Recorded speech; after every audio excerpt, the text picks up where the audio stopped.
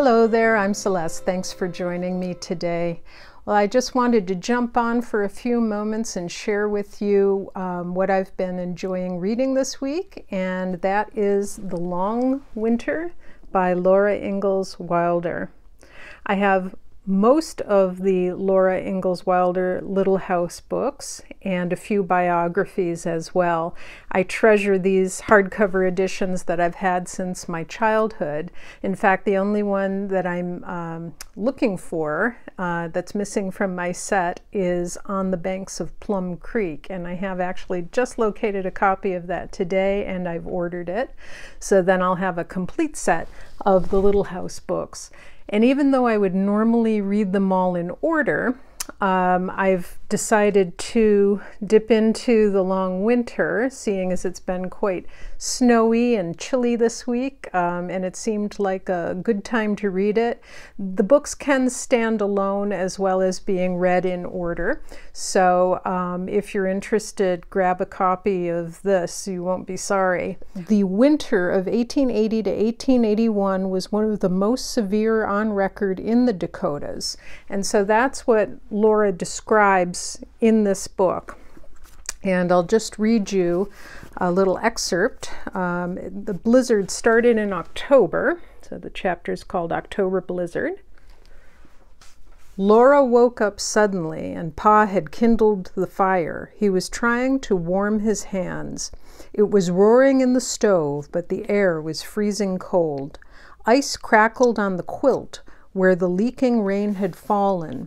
Winds howled around the shanty, and from the roof and all of the walls came the sound of scouring. Carrie sleepily asked, What is it? It's a blizzard, Laura told her. You and Mary stay under the covers. Careful not to let the cold get under the quilts, she crawled out of the warm bed. Her teeth chattered while she pulled on her clothes. Ma was dressing too, beyond the curtain, but they were both too cold to say anything. They met at the stove where the fire was blazing furiously without warming the air at all. The window was a white blur of madly whirling snow. Snow had blown under the doors and across the floor, and every nail in the walls was white with frost. Pa had gone to the stable. Laura was glad that they had so many haystacks in a row between the stable and the shanty. Going from haystack to haystack, Pa would not get lost. A blizzard, Ma chattered, in October. I never heard a. She put more wood in the stove and broke the ice in the water pail to fill the tea kettle. The water pail was less than half full. They must be sparing of water, for nobody could get to the well in the storm. But the snow on the floor was clean. Laura scooped it into the wash basin and set it on the stove to melt for washing in. So this is a really great chronicle of that long winter. And um, I'm really having a good time remembering the first time I read this, which I believe was also in the winter time. And uh, so I've really been enjoying that this week. And reading that um, has led me to some other books that I'm super excited about as well that I'd like to share with you. And it was it had gotten me wondering about their livelihood and about the land and the food and animal rearing and um, the farming that they did there, the crops that they raised, and how they observed the weather uh, on the plains and prairies in the 1800s. And that led me to this book, The World of Laura Ingalls Wilder by Marta McDowell, The Frontier Landscapes That Inspired the Little House Books. So that's this book here. You can see the covered wagon there. I'm just going to show you a few pictures from this. It starts with her time in the big woods and talks about all the flora and the fauna and um, the food they ate when they were there that they trapped and hunted for and caught the wildlife that they saw in the big woods, the crops that they were able to grow in their little garden, and um, there's some little horticultural drawings there. It's just absolutely fantastic. And um, it does go on to talk about the long winter.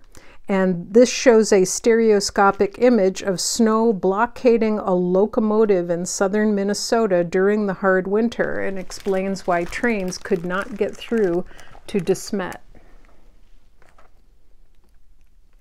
I think that's just phenomenal. And um, yeah, oh my gosh, what an exciting book.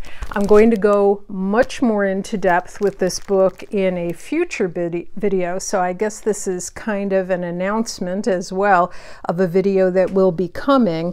Um, as soon as I started looking through this book, I knew that I wanted all of Marta McDowell's books, and so I've ordered all of them, and I'm excited to announce that soon I'll be doing a video. It's sort of what I call pen and trowel, and it's going to be a focus on the natural landscapes and gardens of best loved children's authors. And so um, I hope to do that late winter, early spring. And I'll have a whole slew, a big haul of books uh, to share with you at that time.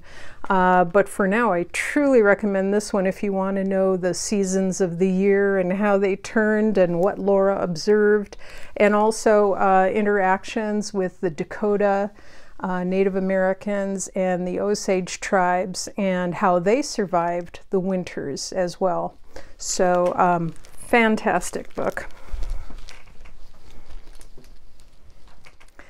And the other night, I was able to locate a really good documentary about the life of Laura Ingalls Wilder that you can find um, on a streaming service. And I found it on PBS, public television, and it is called Laura Ingalls Wilder Prairie to Page. It was really fascinating and really well done, and it goes through her entire life and all of her books and her daughter Rose Wilder Lane. Uh, goes through her relationship with Almanzo, what's factual in her books, what's not so factual, um, teaching and appreciating the Laura Ingalls Wilder books in the context of um, Native American issues and how the books have aged and how one can still appreciate them as long as you have that context. So I really recommend that documentary as well. And also um, this book, which is called Prairie Fires, The American Dreams of Laura Ingalls Wilder by Caroline Fraser. Now, this book does tend to be quite academic and um, it's a little heavier read, but if you're a Laura Ingalls Wilder fan, um, I definitely recommend getting this one as well. I've kind of been pairing it, um, so I'm reading a couple chapters of this one and then sort of chronologically going along with this book, The Children's Blizzard by David Laskin. And this is a really great book. Um, it's about the 1888 blizzard. So I was not aware that there were actually several blizzards. There was the long winter that Laura Ingalls Wilder writes about. Um, that one is actually called the snow winter of 1880 to 1881. And I'll just read you what David Laskin says about that on page 59 of this book. Laura Ingalls Wilder made the snow winter the subject of her novel, The Long Winter. Every detail in the book matches up exactly with the memories of pioneers the grinding of wheat and coffee mills, the endless hours of twisting prairie hay for fuel, the eerie gray twilight of the snowed in houses, the agony of waiting and hoping that the trains would get through the steady creep of starvation when they failed to yet again. By midwinter, Laura and her sisters had learned to scan the northwest horizon for the cloud, the single sooty cloud that presaged another storm. Even the rare sunny days only heightened their anxiety. No one knew how soon the blizzard would come again, wrote Wilder.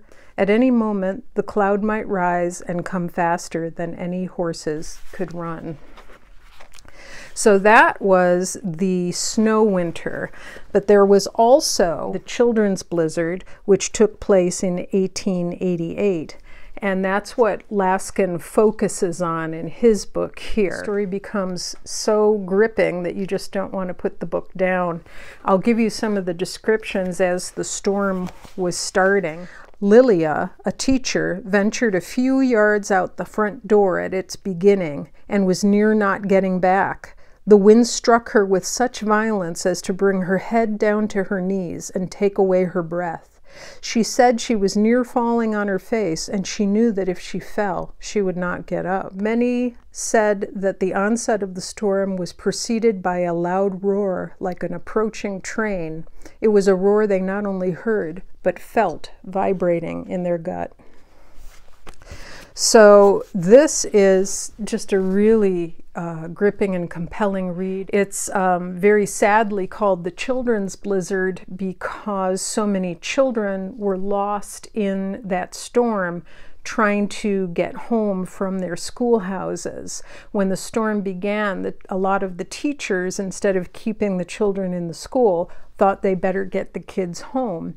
And so they dismissed them for the day. And the children who normally could very easily go over the fields and go back home the mile or even a quarter of a mile um, were lost. Um, it's also just a, a, fascinating read and really gives me an appreciation um, and respect, first of all, for weather and also for um, the ingenuity that people used to try to get people safe and get them back home. And the, some of the family members who went out, for example, there was a little boy who went out and was searching for his brother.